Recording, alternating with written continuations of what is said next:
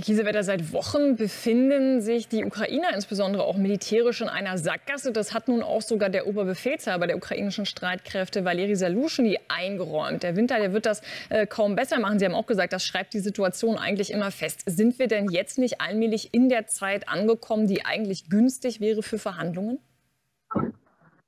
Was soll denn verhandelt werden?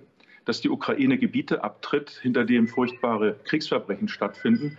Äh, das Dilemma, das wir jetzt haben, ist das Ergebnis mangelnder europäischer Führung. Die Masse der Unterstützung kommt aus den USA, etwa 70 Prozent. Wir müssen zwei ganz starke Signale senden. Jetzt erstens an die Amerikaner, dass wir Europäer sie entlasten, also deutlich mehr tun, auf Augenhöhe mit den Amerikanern kommen. Zweitens erwarte ich vom Bundeskanzler, dass er gemeinsam mit europäischen Staats- und Regierungschefs einen Appell an die eigene Rüstungsindustrie leistet mit entsprechenden Finanzierungszusagen, dass nicht immer nur versprochen wird. Deutschland ist Meister im Versprechen, aber nicht Meister im Liefern.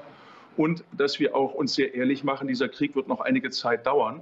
Und das Thema Verhandlungen, Russland will nicht verhandeln. Russland sieht ja, wie müde und schwach wir sind, dass wir an Verhandlungen glauben, währenddem russische Kinder, äh, ukrainische Kinder nach Russland entführt werden, Frauen vergewaltigt werden, Männer ungeheuer gequält werden. Also hier geht es jetzt darum, dass wir uns im Klaren werden, wenn die Ukraine zerfällt, kommt Massenflucht zu uns wird Amerika sich Trump zuwenden und werden die Europäer vor einem Scherbenhaufen der Unglaubwürdigkeit stehen. Und hier ist jetzt der Bundeskanzler gefragt, der viel zu vorsichtig mit Russland umgeht, die Ukraine kaum erwähnt. Ich habe manchmal den Eindruck, er setzt eher auf Verhandlungen und auf eine Niederlage der Ukraine. Es geht darum, jetzt alles zu tun, dass die Ukraine im Frühjahr mit frischen Kräften und deutlich besserer Ausstattung ihre Gebiete befreien kann. Letzter Punkt, Kriegsziele. Wir müssen uns im Klaren sein, dass die Ukraine ihre Gebiete befreien muss. Es, der Kanzler erreicht ja nicht mal sein Minimalziel, dass die Ukraine nicht verlieren und Russland nicht gewinnen darf, wenn er so weitermacht.